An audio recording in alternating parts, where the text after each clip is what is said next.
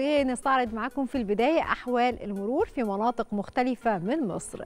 هنبدأ معاكم جولتنا من القاهرة وتحديدا من كوبري أكتوبر اللي بيشهد بعض الكثافات المرورية عند رمسيس. هتبدأ تقل لحد ما نوصل لغمرة. بالنسبة لكوبري 15 مايو متجه للمهندسين عليه كثافات مرورية نسبية. أما شارع بورسعيد من نزلة كوبري أكتوبر فبيشهد سيولة مرورية لحد منطقة الزاوية الحمراء. بتظهر كمان بعض الكثافات المتحركة على الكوريش من المعادي وصولا إلى مناطق وسط البلد ومن أثر النبي حتى القصر العيني.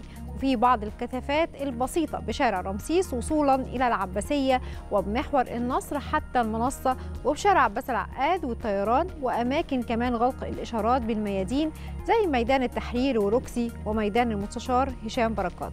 لكن في سيولة مرورية أعلى الدائري بمنطقة السلام وداخل النفق للقادم من الأقاليم للقاهرة عبر الطريق الزراعي. ونفس الأمر للمتجه من المنيب وفي طريقه إلى الأوتوستراد والتجمع في الاتجاه العكسي للقادم من المعادي لمناطق الجيزة.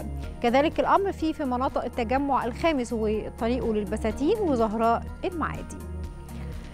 نروح معاكم لمحافظة الجيزة وتعالوا نشوف الطريق الدائري اللي بيشهد سيولة مرورية ما عدا بعض الكثافات عند النزلات. وبخصوص كمان محور 26 يوليو اللي بيشهد سيولة مرورية لكن الطريق المتجه للمهندسين هنلاقي فيه بعض الكثافات قبل طلعة الدائري وميدان لبنان لحد نادي الزمالك. نروح شارع فيصل اللي بيشهد كثافات مرورية والكثافات دي بتزيد مع ساعات الذروة بتظهر على محور صفت اللبن المتجه من الدائري وصولا إلى شارع السودان كثافات مرورية متحركة وبيفضل التوجه لعرابي وكذلك الأمر بكوبري عباس والجامعة والجيزة المعدني. ظهرت كثافات بمحيط ميدان النهضة وصولا إلى إشارة بين السرايات وشارع النيل السياحي وشاهد كمان محور عرابي كثافات بسيطة للمتجه من الأقاليم وصولا إلى المهندسين. في طبعا سيولة كبيرة بشارع جامعة الدول العربية وخاصة بعد افتتاحه والانتهاء من أعمال مترو الأنفاق. نروح معاكم لعروس البحر الأبيض المتوسط الإسكندرية. في كثافة مرورية عند كوبري ستانلي وعلى طول الكورنيش. في كمان كثافات متفاوتة عند الإشارات بطول الكورنيش. أما باقي الشوارع الجانبية ففيها سيولة مرورية نسبية. شارع جمال عبد الناصر بيشهد بعض الكثافات المرورية عند تقاطعه مع محور محمد نجيب. ونفس الأمر في شارع عبد السلام عارف اللي بيشهد كثافات مرورية لكنها متحركة. ونكمل جولتنا ونروح أسوان وهنبدأ من شارع السادات لحد ما نوصل لمنطقة المسلة واللي بتشهد سيولة مرورية على طول الشارع. هنلاحظ كمان إن في كثافات مرورية بسيطة لحد ما نوصل لمحطة القطار اللي بيشهد الطريق حواليها كثافات مرورية.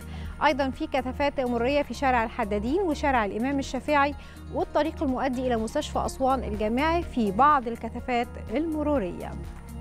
ومن جولتنا في شوارع مصر المختلفة خلونا دلوقتي نستعرض معاكم جولة سريعة عن أحوال الطقس. النهاردة بداية موجة شديدة الحرارة والطقس هيكون شديد الحرارة رطب نهارا على أغلب الأنحاء حار رطب على السواحل الشمالية. درجة الحرارة في القاهرة النهاردة 38 أعلى درجة حرارة هتكون في أسوان 43 وأقل درجة حرارة في مطروح 31 درجة. هنتابع مع حضراتكم الطقس بالتفصيل لكن بعد شوية.